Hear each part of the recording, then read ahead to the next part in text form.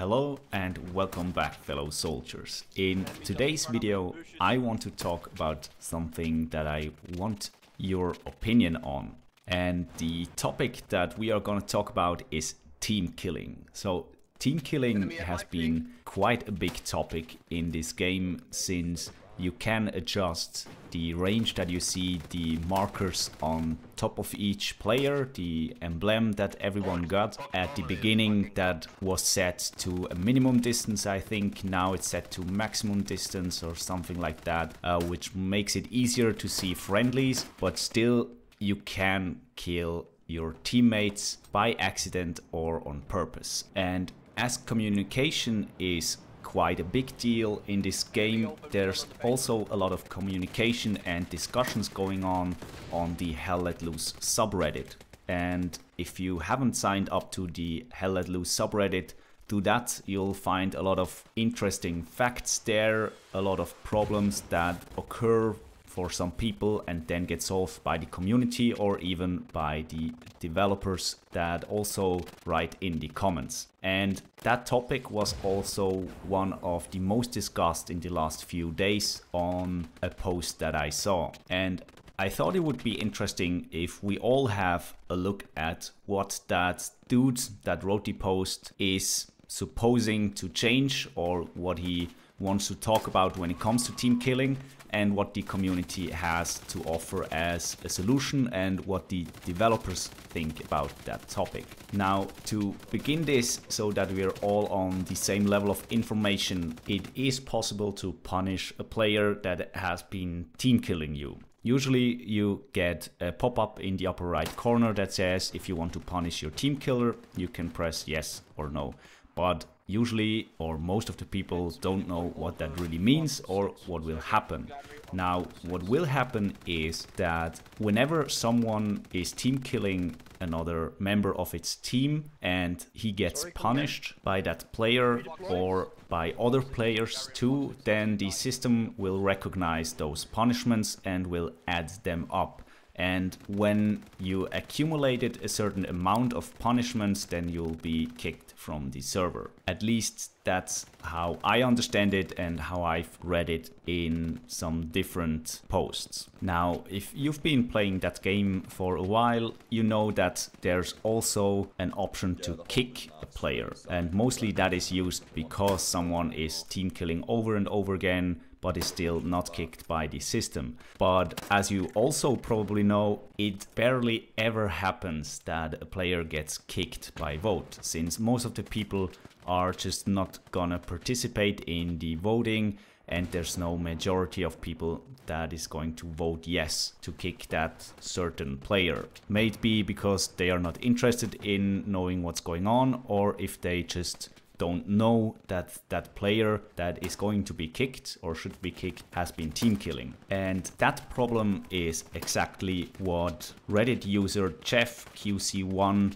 posted on the Hell Let Loose subreddit two days ago he was basically summarizing all this I just told you and said that there should be a better system for the kicking, especially for team killers, since they can actually spawn over and over again and just kill their whole team and so prevent them from building up an effective offense or defense. And for that problem he also came up with some solutions himself and also asked the community to give some opinions on how they could work on that problem. And he was proposing that the vote kick should add a reason for the kick so that you could choose between being AFK, team killing, cheating, offensive language, etc. And that the voting should actually be by team and not for the whole server or to reduce the required amount of votes that it takes until someone gets kicked. And that is actually also a solution or an option that came up the most among the comments in this post.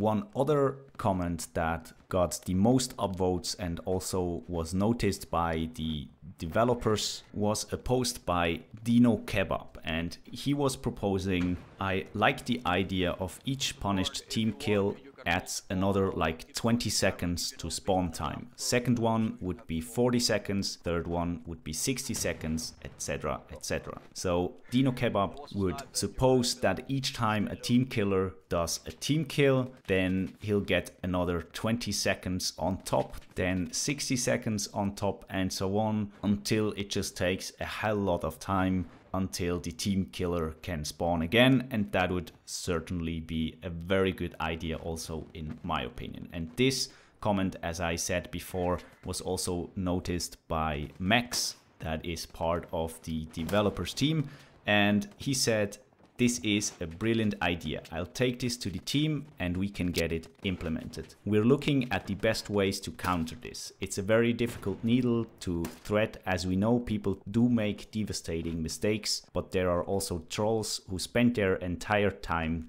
trying to navigate around the current systems in place. And that's also one side of the story that we have to look at that people just make mistakes and that team kills can happen by mistakes, especially if you are sitting in a tank or if you are shooting from artillery. Even if you are the best artillery shooter, it can happen that you get one, two or even five team kills. Shouldn't happen, but can be and if that's the case, I don't think that a kick from the server is really necessary. Of course, I also gave my two cents into this discussion. My comment wasn't very much appreciated, let's put it like this. But nevertheless, I'm going to give you guys a look at it anyways. I was proposing that it would only be possible to kick people in the commander chat and for the squad leads. So my thought behind it would be that if you encounter a team killer as a soldier, you can still vote for the team kick, but only the squad leaders and the commander get the pop-up and can vote kick on him. And now you're asking, well, how should they know who this is and why they should kick him? For that, I think it would work if people just follow the chain of command so the soldier talks to his squad leader and tells him, yeah, this dude was team killing me all the time and I'm gonna initiate a vote kick now. Please talk about this problem with the other squad leads and kick him. And then the squad lead would talk to the other squad leads, the commander, and propose to them to kick that certain player because of team killing. And the reason why I think this would be the best option is that the amount of votes needed really is low. Usually you don't have more than 8 squad leaders plus a commander or something like that and usually or most of the time the squad leads are the ones that are really the most communicative or have to be communicative because they have to lead a squad and also have to communicate with the commander. So I think that could work, but other people replied that there would still be the problem that not everybody can initiate a kick or something like that. Uh, I don't really see that argument, but whatever solution they implement in the end, I think it will still be a better one than the vote kick system that we have now. And you guys now also know that the developers are in the comments of the subreddit and also respond to questions from the player base.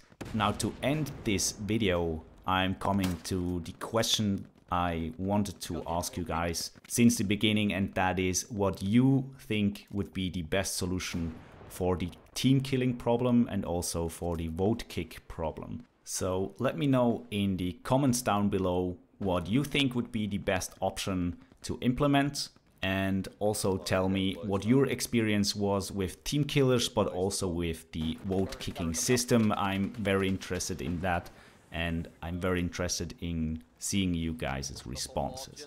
That's been it for this video. Thanks for listening and watching. Subscribe to the channel if you haven't already and give the video a thumbs up if you liked it and I'm pretty sure we're gonna see each other on the battlefield.